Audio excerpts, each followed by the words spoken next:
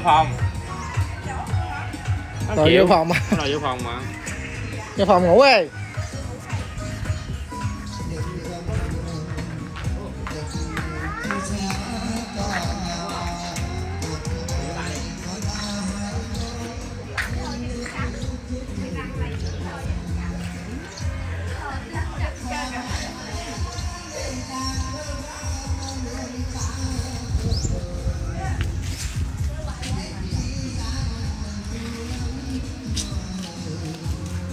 rồi xong. Được chưa? Chào mừng phải không? Đi tắm không?